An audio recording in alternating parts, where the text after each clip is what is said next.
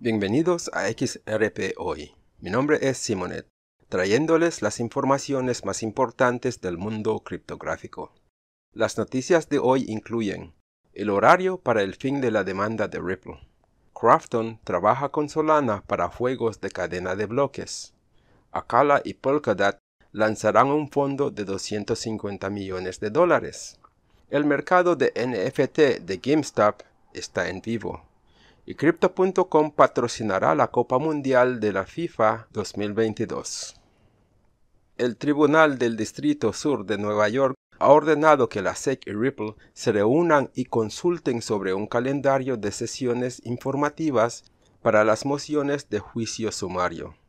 Las partes deberán presentar un horario conjunto para la aprobación del tribunal, a más tardar una semana después de la presentación de la SEC.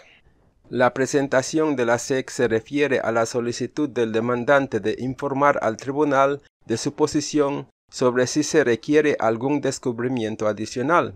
La SEC tiene hasta el 15 de abril del 2022 para presentar su posición sobre algún descubrimiento adicional. La orden del horario conjunto deberá ser presentada a más tardar el 22 de abril del 2022. Una moción reciente de la SEC reveló que Ripple propuso un horario de juicio sumario con informes de apertura y presentaciones relacionadas que vencería a mediados de mayo. Como era de esperar, la SEC quiere programar el juicio sumario para una fecha posterior. La SEC cree que dicho horario de sesiones informativas es prematuro, dado que los demandados individuales aún tienen que responder a la demanda y alegar defensas afirmativas. El juicio sumario más esperado en el caso de la SEC versus Ripple es el de la defensa de notificación justa. La SEC fracasó en hacer que la Corte desestimara esa defensa lo cual constituyó una gran victoria para Ripple y los acusados individuales, quienes también vieron al tribunal declarar sus términos en cuanto a la notificación justa, que en última instancia favorece a Ripple. En una orden judicial anterior, la jueza Analisa Torres señaló cuáles son los factores críticos que pueden tener influencia sobre un futuro juicio sumario en cuanto a la defensa de la notificación justa si XRP se vendió o no como una inversión y si Ripple tiene o no alguna relación con la gran mayoría de los titulares de XRP. Ripple niega ambas acusaciones y según el tribunal de estos factores depende la defensa de la notificación justa. De ser cierto, según el tribunal, surgirían las dudas legales sobre si Ripple recibió una notificación justa de que el término contrato de inversión cubría su distribución de XRP, y es posible que el tribunal deba considerar estas cuestiones con mayor profundidad. En ese caso, Ripple ganaría el caso con el juicio sumario de la notificación justa. Crafton trabaja con Solana para juegos de cadena de bloques. Crafton ha anunciado una asociación con Solana Labs. Según un comunicado de prensa, Crafton y Solana Labs están preparados para construir una relación de cooperación a largo plazo para el desarrollo y operación de juegos y servicios en cadena de bloques y NFTs. Las dos empresas colaborarán en la comercialización y el diseño de juegos y diversas tecnologías de cadena de bloques y cooperarán conjuntamente en oportunidades de inversión. Para los no iniciados, Solana es una cadena de bloques descentralizada que es mucho más eficiente que Bitcoin, Ethereum o cualquier otra cadena de bloques. Solana representa lo mejor del ecosistema de la Web3 y sus tecnologías. A través de esta colaboración, Crafton adquirirá la información necesaria para acelerar su inversión y producción de experiencias basadas en cadena de bloques. Akala y Polkadot lanzarán un fondo de 250 millones de dólares. El 23 de marzo, la red de Akala anunció el lanzamiento del fondo del ecosistema de AUSD de 250 millones de dólares en asociación con nueve equipos de paracadenas de Polkadot y con el apoyo de más de una docena de fondos de capital de riesgo.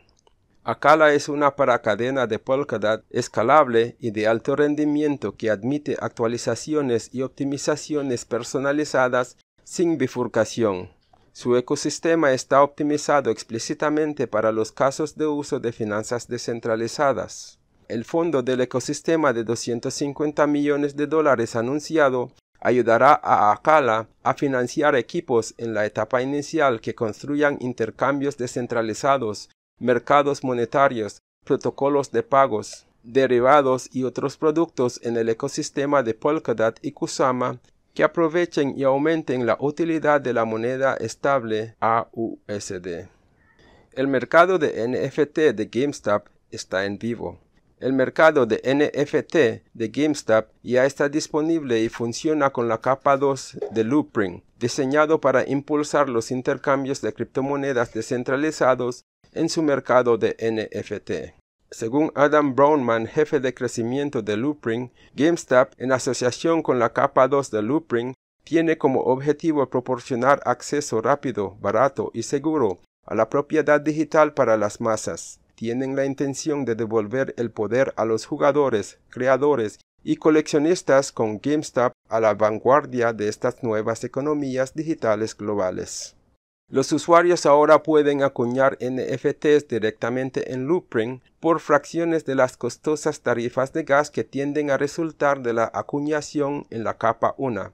Los usuarios beta obtendrán acceso a estas masivas mejoras de velocidad y costos más bajos. Crypto.com patrocinará la Copa Mundial de la FIFA 2022. Crypto.com, la aplicación de intercambio de criptomonedas con sede en Singapur, anunció el miércoles 22 de marzo que será un patrocinador oficial de la Copa Mundial de la FIFA 2022, cuyo inicio está programado para noviembre en Qatar. El acuerdo de patrocinio corporativo verá la marca de Crypto.com destacada en la sede del torneo y brindará a sus más de 10 millones de clientes la oportunidad de asistir a los partidos y ganar mercancías. Crypto.com es la primera marca en representar a la industria de las criptomonedas en este evento histórico. Crypto.com y FIFA no revelaron el valor ni el periodo del tiempo del acuerdo. El patrocinio de Crypto.com de la Copa Mundial de este año brinda un mayor alcance de sus ofertas a una audiencia internacional, dado el atractivo mundial del fútbol. Una auditoría de la FIFA reveló que más de 3.500 millones de personas vieron la Copa Mundial del 2018 organizada en Rusia, con una audiencia mundial combinada de 1.200 millones de espectadores viendo la final entre Francia y Croacia. Esto es todo lo que les tengo. Si les sacó provecho a este video, por favor, denle me gusta, compartan y suscríbanse. Sean bendecidos.